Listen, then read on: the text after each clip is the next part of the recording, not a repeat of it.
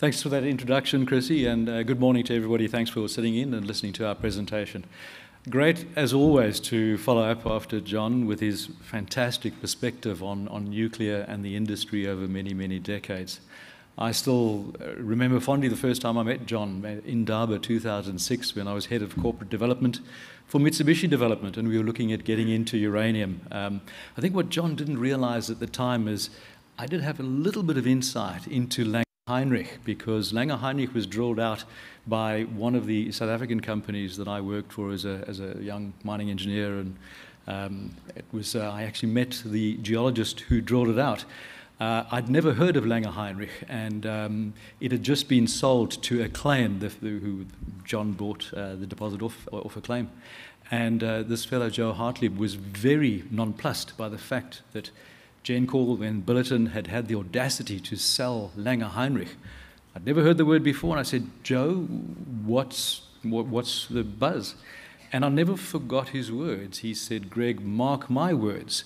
Nuclear's time will come, and Langer will be one of the first of the new generation uranium mines to be developed. And John delivered on that promise. So, fantastic history there. Uh, bring it closer to home to us, Aurora, draw your attention to the usual disclaimer. Then I'm going to take a slightly different path to what I've historically done with my presentations, is I've kind of like taken a step back, thinking about, okay, why would anybody be interested in uranium? And, and, and clearly John's covered some of, the, the, the, of my topic there, but I might bring a slightly different perspective and then specifically US uranium, given that that's where our project is located. And then finally, I'll hone in on exactly the asset itself and what we're up to and why we think it is a compelling investment opportunity. So I guess you could summarize, apart from what John said, I, I, I think about in, in, in three or four different ways in terms of the uranium market. So we've got price and what we've seen just in the last few years, and in particular this year energy security issues globally, the path towards net zero, which John obviously covered, and then finally thinking about price and inventory depletion, what impact that is happening, having on price and on the aspiring producers. So start off with spot.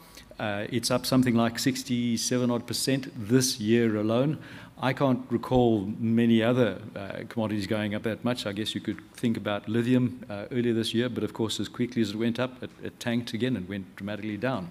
So that's the, the other thing. The other thing is there's a 34 odd percent shortfall for this year's supply alone, and that's only going to get worse. So that's really interesting. You say, okay, well, how do we keep the lights on as far as a nuclear power station is concerned when your supply is under threat? And the offset to that is contracting volumes are currently at 10 year highs. And that sends a very clear signal that the utilities are no longer prepared to just rely on spot supply. The second point I mentioned was energy security. So, nuclear and uranium is effectively a bifurcated market. You can see the sources of uranium supply and where they located, the big blue bubbles, and the greater sources of demand, the big yellow bubbles. And you can see there's a clear differentiation between the two. And that brings its own inherent challenges, in particular over the last two years with Russia's illegal invasion of the Ukraine. So that sensitivity around energy security has been hammered home in, in the most obscene fashion with that war. The people realize we've got to look after ourselves in, in your, your, your, your hemisphere, be it north, south, east, or west. The next one is towards net zero, and, and John mentioned this in some, some detail. I'd recommend trying to catch the, the, the movie by Oliver Stone, Nuclear Now, to create Uh, to get some really good sense of perspective on the history of how we got to where we are today and why nuclear became, coin phrase, I guess, disenfranchised over the years, but now very much back on the scene. John's addressed some of those points there, and it really is important. He spoke about heating just briefly.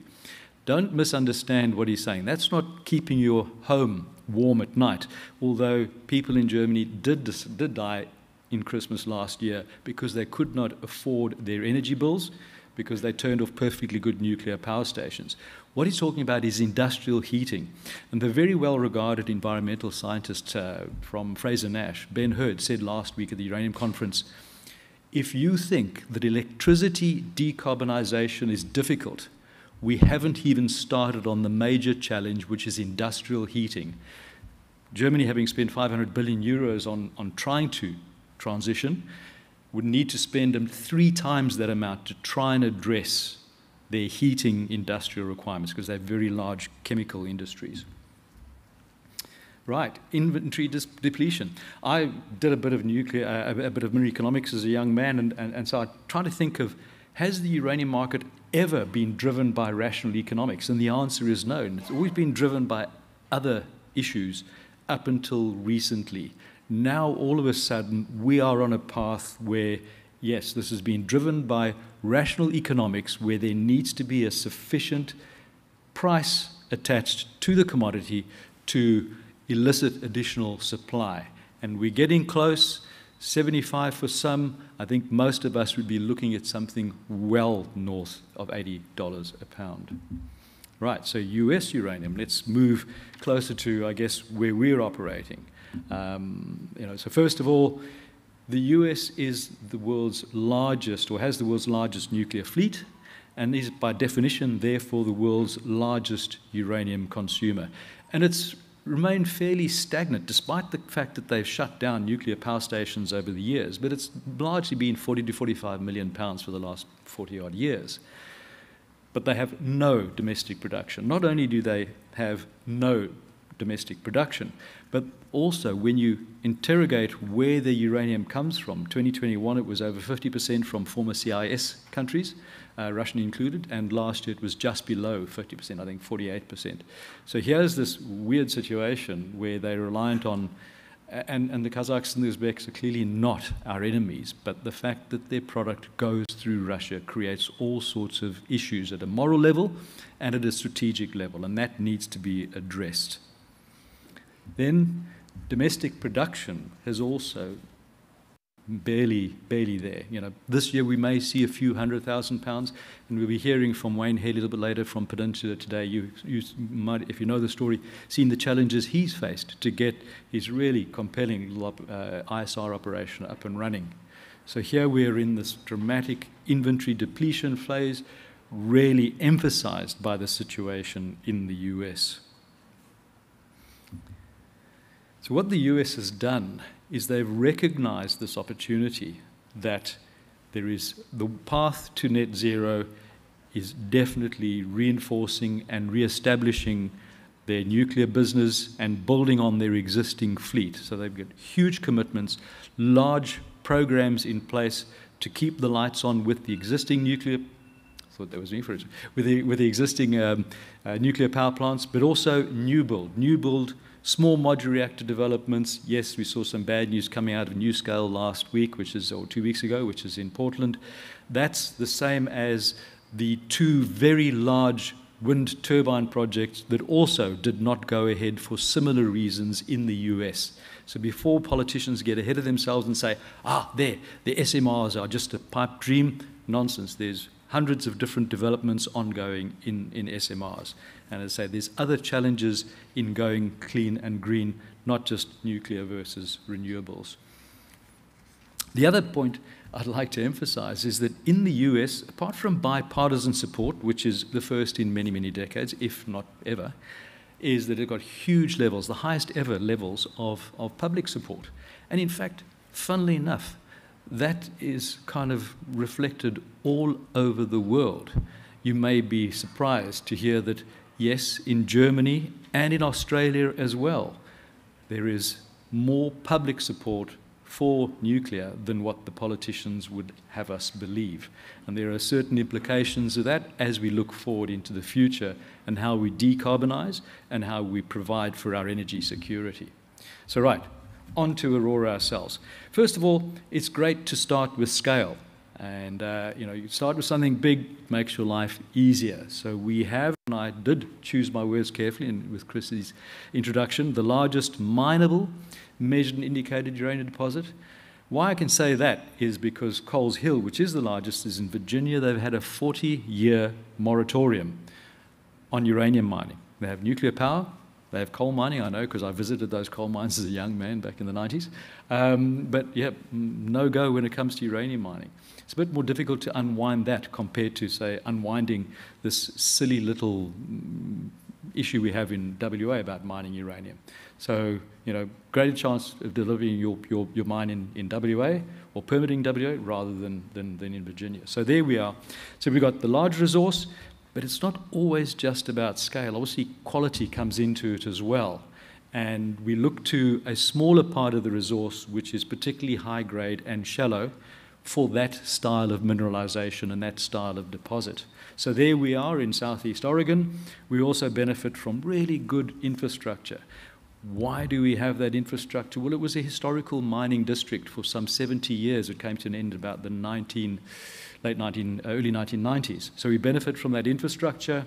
I mentioned the high grade core sitting right at surface, so easy to mine.